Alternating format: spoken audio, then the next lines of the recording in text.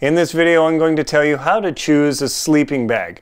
15, 10 plus 5 factors to consider when you're purchasing one of these down or synthetic fill beauties. I'm going to give you 15 different things to look out for and be conscious of, and I'm going to save the most important factor for last in this video for you. The first factor you need to consider is the temperature rating of the sleeping bag. How cold can your sleeping bag take you down till and still keep you warm and comfortable? Take for instance, this is a Western Mountaineering Megalite. This is rated for about 20-25 degrees Fahrenheit. Compare this to the Western Mountaineering Puma. This is rated for about minus 20, minus 25 degrees Fahrenheit.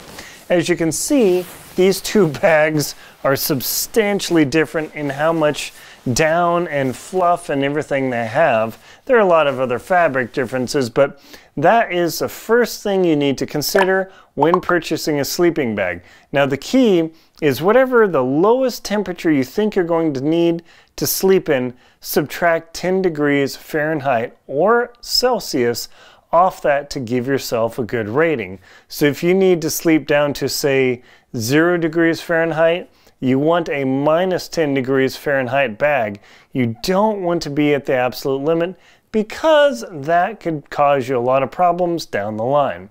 The second thing to think about is do you want a down sleeping bag or do you want a synthetic fill sleeping bag? Most of the time people go with down because down is more efficient for weight per the amount of warmth you get, meaning for the amount of weight you have to pack around on your back, you'll get more warmth out of a bag than synthetic. The big factor is if you expect your bag to get wet constantly, synthetic might actually be for you because synthetic bags can actually keep you warm while you're wet versus traditional knowledge says that once your down sleeping bag is soaked, it's not going to keep you warm. You're going to be like, oh my gosh, I'm freezing. So down versus synthetic and also a down insulation tends to last longer over the years compared to a synthetic fill insulation.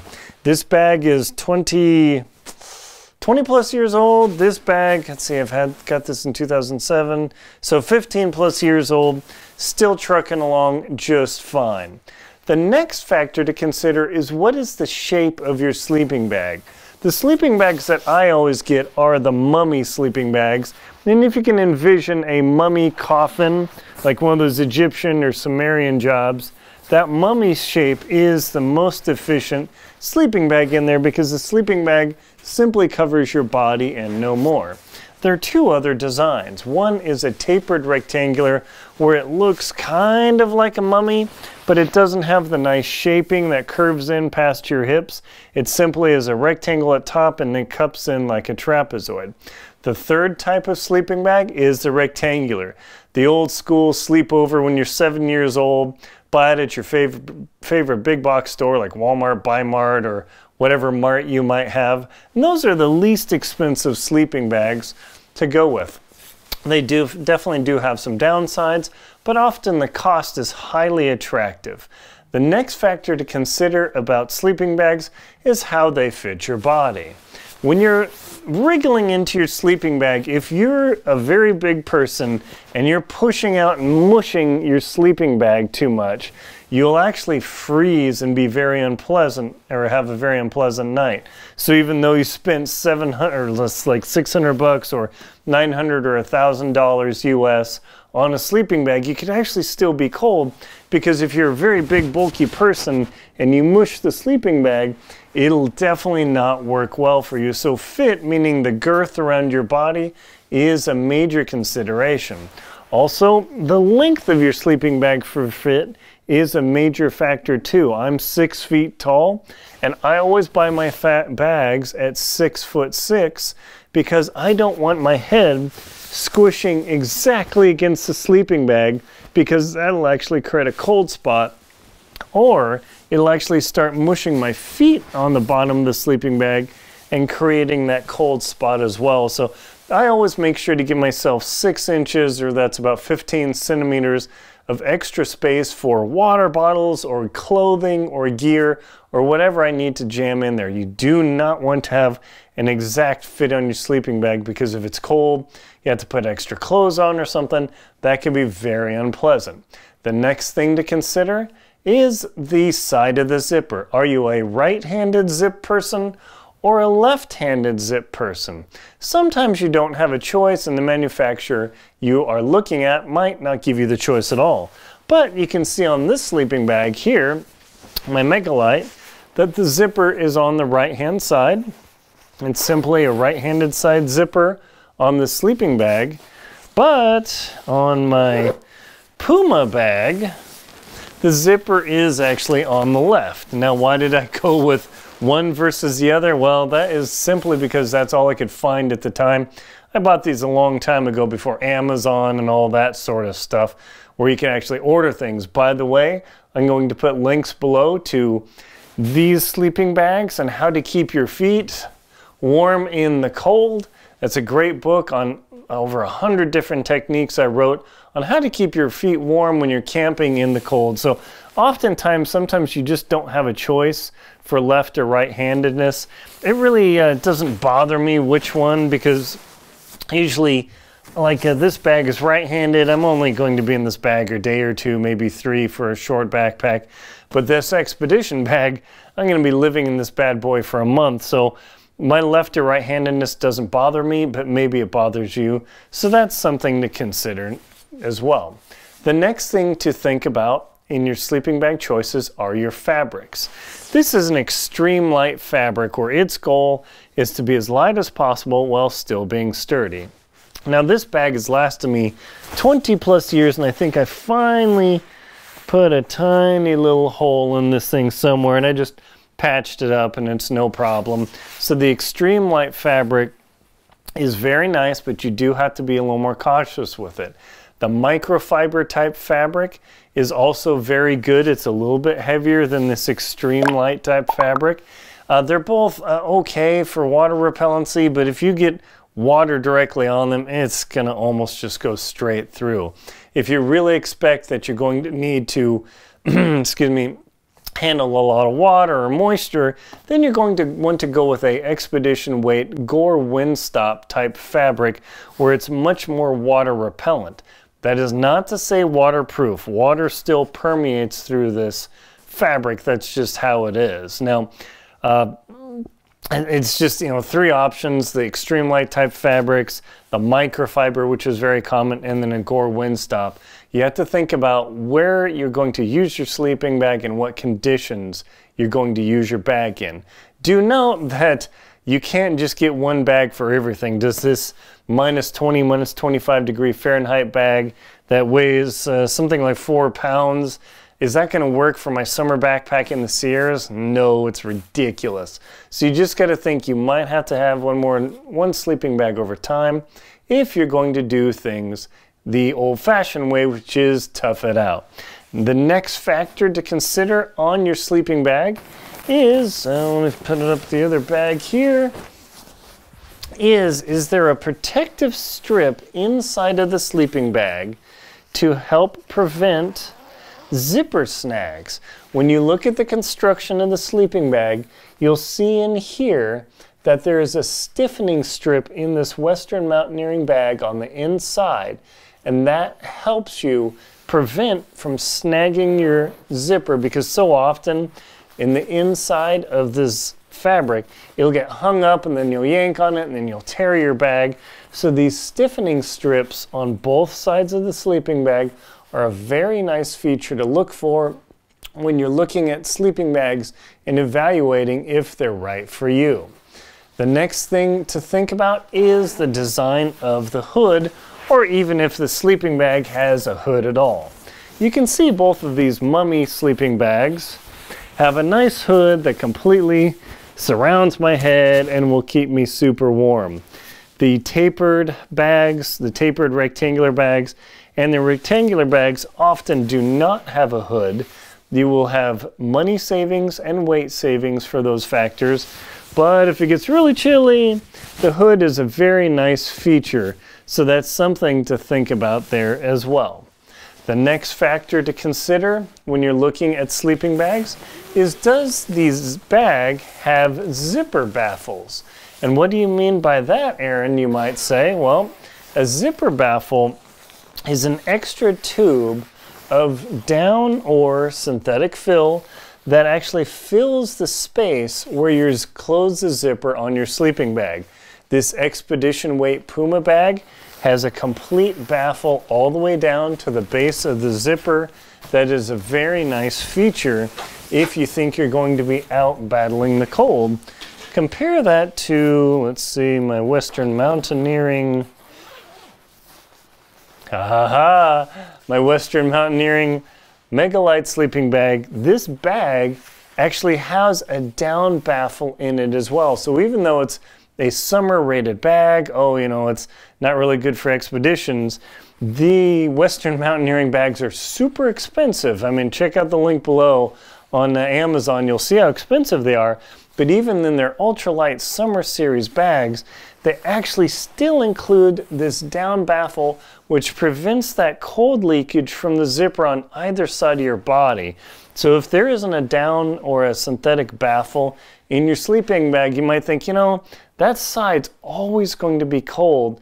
How am I going to deal with it? So even though a bag with a baffle on the zipper might be a little more expensive, when you're sitting there freezing in the cold, you will happily hand over your credit card or write a check and say, please end this.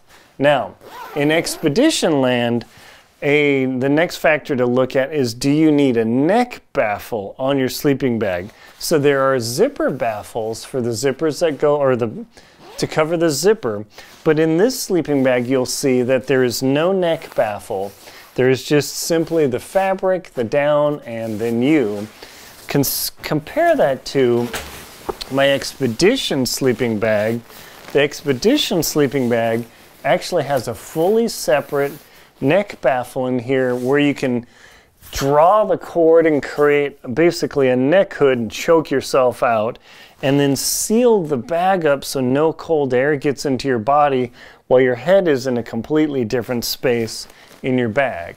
The neck baffles are traditionally found only on expedition weight and cost sleeping bags. My Megalite is not meant to be an expedition bag. I mean, Definitely not. It has the nice zipper baffle, but it does not have a neck baffle. So if you're going to somewhere really cold like Denali or I don't know, the Arctic or somewhere where, you know, you're going to hit minus 20 degrees Fahrenheit or minus 28 degrees Celsius or something like that. The neck baffle is a very nice feature to have that will help keep you warm, especially in that drafty environment. The next design consideration to look at is the baffle design of the bag itself, how the tubes of down wrap around the body of the bag.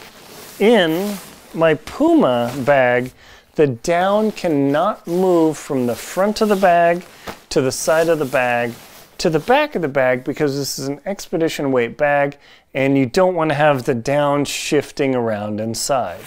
Compare that to my Megalite bag.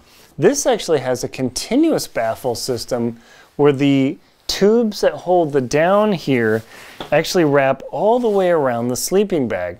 Now that reduces cost, it reduces weight, and it actually gives me more flexibility because I can actually take this bag and if it's a little too chilly, what I can do is grab the back of the bag, whip it, and begin driving the down onto the chest area of my bag and actually warm my bag up substantially. The converse to that is if it's summer and it's still 85 degrees out, I'm sleeping somewhere where I'm almost dripping sweat, I can actually take this down and begin whipping it around and drive the down through the baffles onto my back where I lay on it and mush it. And I can actually adjust the temperature rating somewhat on this sleeping bag. So even though this bag is rated for about 25 degrees Fahrenheit or thereabouts, I've taken it down to 5 degrees. It wasn't an enjoyable night, but the ability to fluff that down and drive it onto my chest made all the difference in me having a comfortable night. It was a little cool, but I definitely survived as well. Another factor is in sleeping bags is is is is their inability to slide your sleeping pad into the actual structure of the sleeping bag.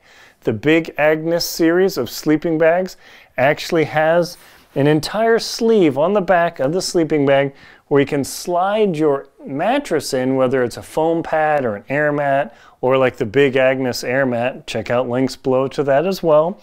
And that way, you don't slide off of your, your air pad or your foam pad at night and stay on the ground, maybe give yourself frostbite or have a cold night.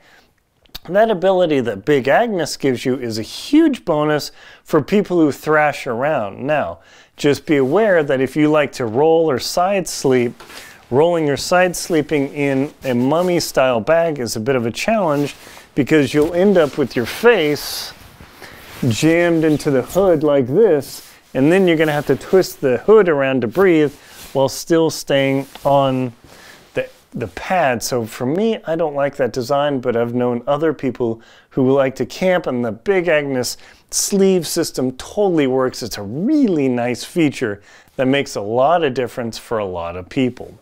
Then uh, let's see, uh, sleeve for sleeping bag. Okay, three more things to go here. Booyah! The next factor to consider is do your sleeping bags actually zip together? Western Mountaineering's a six foot six bag.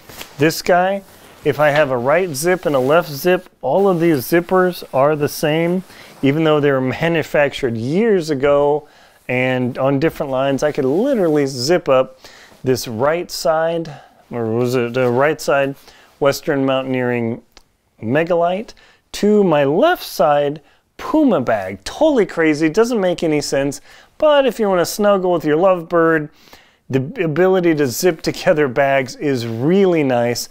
And also look at the how far the zipper goes down on the sleeping bag. Don't get a sleeping bag that zips all the way around the bottom. It, it, that's a waste. That adds extra chance for cold spots. It adds extra weight and chances for failures. These are a 7 8 or thereabout zipper where the last foot or about 30 centimeters on the bag doesn't have a zipper. You don't need that because the coldest place on your bag is always going to be on your feet. So that zip together option is nice, but don't get the bags that zip around. Just make sure the zipper stops here and you won't have any trouble with that. And that is uh, the second last factor is these zippers, make sure they don't go all the way down. And check out other things like drawstrings and cords. Uh, make sure that the cord can cinch up so it can completely envelop your face and watch my sleeping bag fall down. You know, do this sort of thing so you can sleep there. Some sleeping bags actually have pouches where you can stuff things at night. There's all sorts of options. I prefer a traditional straight up sleeping bag that doesn't have a lot of other, uh, what we call foo-fa because oh, where, where am I going to put this? That I just pile my junk inside of my sleeping bag, sleep there and deal with it. I don't want extra sleeves or anything because, well, what if the sleeve isn't in the right place? And now I got to fight with it. I don't want to fight with it. But for some people who like to ferret things away and bundle up like that, it totally works. So that is another consideration. And now, at the end of the video, the most important consideration when you're looking at sleeping bag is Literally, what color do you want? Now, some people, hey, don't click away yet. Some people say, oh, the color doesn't matter. That's a silly thing. To some people, it really matters. If you're a hardcore North Facer, you want that red North Face bag. That's just the way you want it. If you're a Mammut or Marmot, you want that blue or the uh, feathered friends are blue.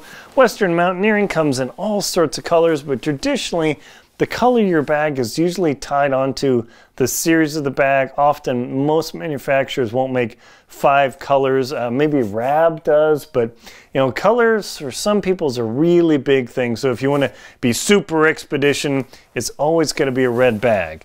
Uh, me, I don't care. I've taken this bag in to Greenland. I've taken this bag and going to go Greenland, taking it to Denali, taking Yellowstone in the winter, which is like minus 40 degrees, so it's nothing to sneeze at. So there you go. Those are 15 factors of how to choose your sleeping bag and all the different things you want to consider when you're looking at a sleeping bag and listening to my computer ding like crazy. Please check out the links below to my book, How to Keep Your Feet Warm in the Cold, and also the link below to my upcoming book, How to Camp in the Cold, that tells you all these things and more to keep yourself self warm, comfortable, and safe in the outdoors. My name is Aaron Linsdau. I'm a polar explorer and professional adventurer. Please like and comment on the video and subscribe to the channel. Thank you very much for watching and enjoy your sleeping bags!